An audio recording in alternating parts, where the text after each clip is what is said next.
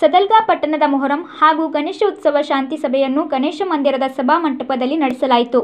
Corona ರೋಗದ ಸಂದರ್ಭದಲ್ಲಿ ಸದಲ್ಗಾ ಪಟ್ಟಣದಲ್ಲಿ ಗಣೇಶ ಉತ್ಸವ ಮತ್ತು ಮೊಹರಂ ಹಬ್ಬದ ಪ್ರಯುಕ್ತ ಶಾಂತಿ ಸಭೆಯನ್ನು ಚಿಕ್ಕೋಡಿಯ ಸಿಪಿಐ ಐಎಸ್ ಗುರುನಾಥ್ ಮತ್ತು ಪಿಎಸ್ಐ ಆರ್ವೈ ಬೆಳಗಿಯವರ ಸಮ್ಮುಖದಲ್ಲಿ ನಡೆಸಲಾಯಿತು. ಪಿಎಸ್ಐ ಆರ್ವೈ ಬೆಳಗಿಯವರು ಮಾತನಾಡಿ, ರಾಜ್ಯ ಸರ್ಕಾರದ ನಿಯಮಗಳನ್ನು ಪಾಲಿಸುತ್ತಾ ಗಣೇಶ ಹಾಗೂ ಮೊಹರಂ ಉತ್ಸವವನ್ನು ಸಾರ್ವಜನಿಕವಾಗಿ ಆಚರಿಸುವಂತಿಲ್ಲ.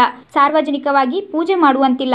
ಸಾರ್ವಜನಿಕ ಗಣೇಶ ಮೂರ್ತಿ ಆರು ಅಡಿಗಿಂತ ಕಡಿಮೆ ಮತ್ತು ಮನೆಗಳಲ್ಲಿ ಕೂಡಿಸುವ ಗಣಪತಿ ಎರಡು ಅಡಿಗಳಿಗಿಂತ ಕಡಿಮೆ ಇರಬೇಕೆಂದು ತಿಳಿಸಿದರು. ಈಗಾಗಲೇ ಕಂಡಿದ್ದೀನಿ. ಕೂಡ ಇಲ್ಲಿ ಎಲ್ಲ ಮಾಹಿತಿನೂ ಕೂಡ ಇದೆ. ಸದಲಗ ಪಟ್ಟಣದಲ್ಲಿ ಪ್ರತಿಯೊಂದು ಗಣೇಶ ಮಂಡಳಿಯ ಸದಸ್ಯರಿಗೆ ಇವತ್ತಿನ ದಿವಸ ಏನೊಂದು ಪ್ರಪಂಚಾದ್ಯಂತ ಮತ್ತು ದೇಶಾದ್ಯಂತ ಕರೋನಾ ರೋಗದ ಬಗ್ಗೆ ಮುಂಜಾಗ್ರತಾ ಕ್ರಮ ವಹಿಸಿಕೊಳ್ಳೋದು ಆರೋಗ್ಯದ ದೃಷ್ಟಿಯಿಂದ.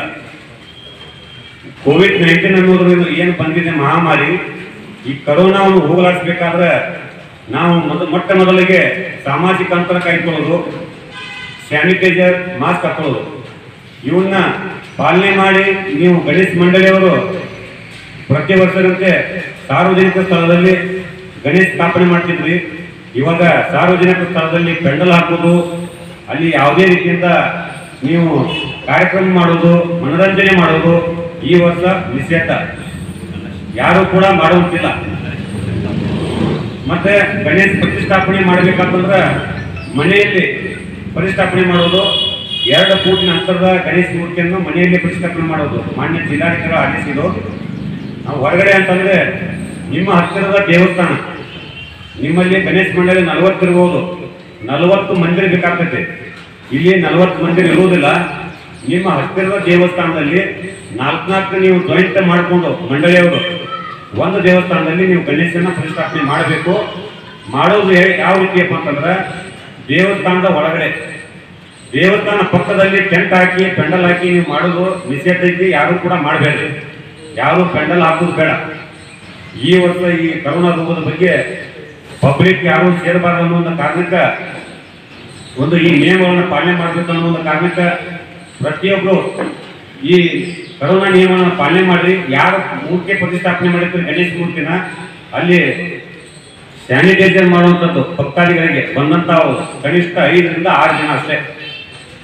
ಸ್ಯಾನಿಟೈಸರ್ ಮತ್ತು ಥರ್ಮಲ್ ಮಾಸ್ಕ್ ಅಂತಂದ್ರೆ ನಿಮ್ಮ ಉಷ್ಣತೆ ಮಾಸ್ಕ್ ಚೆಕ್ ಮಾಡುವಂತ ಮಷಿನ್ ಇರಬೇಕು ಇವತ್ತಿನ ದಿವಸ ಈ ಸಭೆ ಮೂಲಕ ತಿಳಿಸ್ತಾ ಇದ್ದೀನಿ. ಇಲ್ಲಿ ಇರ್ತಕ್ಕಂಥ ಕಡಿಮೆ ಕೂಡ ಸದಲಗ ಪಟ್ಟಣದಲ್ಲಿ ಎಲ್ಲರಿಗೂ ಕೂಡ ನೀವು ಈ ಮಾಹಿತಿನ ತಿಳಿಸ್ರಿ. ಮುಖ್ಯವಾಗಿ ಏನೊಂದು ಕರೋನಾ ನಿಯಮದ ಬಗ್ಗೆ ತಮಗೆ ಹೇಳಿದೆ. ಈ ಮುನ್ನೆಚ್ಚರಿಕೆ ಕ್ರಮಗಳನ್ನು ಕಡ್ಡಾಯವಾಗಿ ಪಾಲನೆ ಮಾಡಿ ಸಿಪಿಐ, ಐಎಸ್ ಗುರುನಾಥ್ ಅವರು ಮಾತನಾಡಿ, ಕೊರೋನಾ ಹಿನ್ನೆಲೆಯಲ್ಲಿ ಸಾರ್ವಜನಿಕವಾಗಿ ಗಣೇಶ ವಿಗ್ರಹವನ್ನು ಕೂಡಿಸುವಂತಿಲ್ಲ. ಪಿಯುಪಿ ಗಣಪತಿ ಕೂಡಿಸಲು ಅವಕಾಶವಿಲ್ಲ. ಸಾರ್ವಜನಿಕವಾಗಿ ಯಾರಾದರೂ ಕೂಡಿಸಿದರೆ ಅವರ ಮೇಲೆ ಕೇಸ್ ದಾಖಲಾಗುವುದು ಎಂದು ತಿಳಿಸಿದರು. ಆಮೇಲೆ ಪಕ್ಕದಲ್ಲಿ ಮಹಾರಾಷ್ಟ್ರದ ನೋಡಿದಿರ ಎಷ್ಟು ಇದಾಗಿದೆ. ಇನ್ನು ಮಹಾರಾಷ್ಟ್ರದವ್ರು ಯಾರಾದರೂ ಒಬ್ಬರಿಬ್ಬರಿ ಕಡೆ ಬಂದು ಆ ಕಾರ್ಯಕ್ರಮದ ಏನಾದರೂ ಭಾಗವಹಿಸಿ ಅವ್ರಿಗೇನಾದ್ರು ಕರೆದಿರಬೇಕು ಪಕ್ಕದ ಊರವ್ರು ಬಂದ್ರೆ, ಇವರು ಬಂದ್ರೆ, ಅದ್ರ ಸುತ್ತಮುತ್ತ ಯಾರಾದರೂ ನಮ್ಮ ಹಳ್ಳಿಯಿಂದ ಬಂದ್ರೆ ಅವ್ರಿಗೇನಾದ್ರೂ ಕರೋನಾ ಇದ್ರೆ ಆ ಸ್ಪ್ರೆಡ್ ಆಗಿ ಇಡೀ ಸಮುದಾಯ ಕರಡಿ ನಾವೆಲ್ಲರೂ ಆ ರೋಗಕ್ಕೆ ಬಲಿಯಾಗಬೇಕಾಗ್ತದೆ. ಅದಕ್ಕೆ ಅಂತ ಮಹಾಮಾರಿ ಅದು ಕಣ್ಣಿಗೆ ಕಾಣಿಸೋದಿಲ್ಲ. ಅವರು ಗಜಾನನ ಮಂಡಳಿಯವರು ಎಲ್ಲರೂ ಬಂದಿದ್ದೀರಾ? ಗಜಾನನ ಮಂಡಳಿ ಎಲ್ಲ ಬಂದಿದ್ದೀರಾ? ಅದಕ್ಕೆ ಗಣೇಶನ ಪ್ರತಿ ವರ್ಷದಂತೆ ನೀವು ಕೂಡಿಸುವಂತೆ ಈ ಸಲ ನಿಷೇಧಿಸಲಾಗಿದೆ.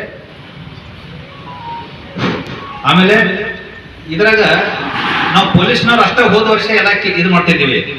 ಏನಾದ್ರೂ ತಪ್ಪಾಯ್ತು ಅಥವಾ ಹಿಂಗೆ ಏನಾದರೂ ಒಂದು ಕೇಸ್? ಈ ಸಲ ಒಂದು ಏನಾದರೂ ಗಣಪತಿ ಕೂಡಿಸಿದ್ರೆ ಐದು ಮಂದಿ ಕೇಸುಗಳನ್ನ ದಾಖಲಿಸ್ತಾರೆ. ಮುನ್ಸಿಪಾಲ್ಟಿಯವರು ಜಾಗ, ಜಾಗದಿಂದ ನೀವು ಅಲ್ಲಿ ಹಾಕಬಾರ್ದಾಗಿತ್ತು ಹಾಕಿದ್ರಿ ಕೆ ಇ ಬಿ ಅವರು ವಿದ್ಯುತ್ ನೀವು ತಂದು ಅಲ್ಲಿ ಅಳವಡಿಸ್ಕೊಳ್ಬಾರ್ದಾಗಿತ್ತು ಅಳವಡಿಸ್ಕೊಂಡಿದ್ರಿ ವಾಯು ಮಾಲಿನ್ಯವರು ಪರಿಸರ ಇಲಾಖೆದವರು ನೀವು ಇಲ್ಲಿ ಈ ಗಣಪತಿಯನ್ನ ಪರಿಸರ ಇಲಾಖೆಯನ್ನ ನೀವು ಇದು ಕುಡಿಸಿದ್ರೆ ಅವರು ಕೇಸ್ ಮಾಡ್ತಾರೆ ಪಿ ಡಬ್ಲ್ಯೂ ಮಾಡ್ತಾರೆ, ಪೊಲೀಸ್ ಇಲಾಖೆ ಬರ್ತದೆ. ಆರೋಗ್ಯ ಇಲಾಖೆಯವರು ನೀವು ವೈರಾಣು ಹರಡಲಿಕ್ಕೆ ಕಾನೂನುಬದ್ಧರಾಗಿದ್ದ ಜನ ಸೇರಿದ್ರೆ ಅದು ಇಲಾಖೆಗೆ ಕೇಸ್ ಆಗ್ತದೆ. ಇವೆಲ್ಲ ಎಷ್ಟು ಕೇಸುಗಳು? ಅನವಶ್ಯಕವಾಗಿ, ಸಾರ್ವಜನಿಕವಾಗಿ ಪಬ್ಲಿಕ್ ಪ್ಲೇಸ್ನಲ್ಲಿ ಗಣಪತಿ ಕೂಡಿಸೋದನ್ನು ನಿಷೇಧಿಸಲಾಗಿದೆ. ಒಂದು ವೇಳೆ ನೀವು ಗಣಪತಿ ಕೂಡಿಸಿ ಏನಾದರೂ ಪರಂಪರೆಗೆ ಅನುಗುಣವಾಗಿ ಆ ಮಹಾ ಗಣಪತಿಯನ್ನ ಪೂಜಾ ವಿಧಿವಿಧಾನಗಳು ಮಾಡ್ಕೋತೇವೆ ಅಂದ್ರೆ ಅದಕ್ಕೆ ಒಂದು ಸರ್ಕಾರ ಅವಕಾಶ ಕೊಟ್ಟಿದೆ. ಎಲ್ಲಿ ಸಮೀಪದ ಗುಡಿ ಗುಂಡಾರಗಳಿಗೆ ಗುಡಿ ಇದೆಯಲ್ಲ ಅಲ್ಲಿ ಕೂಡಿಸಿ ಐದು ಮಂದಿ ಐದು ಮಂದಿ ಸೇರಿ ಆರತಿ ಮಾಡಲಿಕ್ಕೆ ಮಾತ್ರ ಅನುಮತಿ ನೀಡಲಾಗಿದೆ. ಇಷ್ಟ. ಇಷ್ಟ ಕ್ಲಿಯರ್ ಆಯ್ತಾ ಈಗ ಐದು ಮಂದಿ ಸೇರಿ ಆರತಿ ಮಾಡಿ ಗಣೇಶನ ನೀವು ಅದು ಸಮೀಪದ ದೇವಸ್ಥಾನದಲ್ಲಿ ಕೂರಿಸಿಕೊಂಡು ಆರತಿ ಮಾಡಬಹುದು. ಪರಂಪರೆಯ ಭಕ್ತಿಪೂರ್ವಕವಾದ ನಮನಗಳನ್ನು ಸಲ್ಲಿಸಿ, ಅದಕ್ಕೆ ನಾವು ಬಂದು ನಾವು ದರ್ಶನ ಮಾಡ್ಕೊಂಡು ಬರ್ತೀವಿ. ಅದಕ್ಕೆ ಇಷ್ಟು ಅವಕಾಶ ಇದೆ. ಉಳಿದ ಸ್ಥಳದಲ್ಲಿ ಯಾವುದೂ ಅವಕಾಶ ಇಲ್ಲ.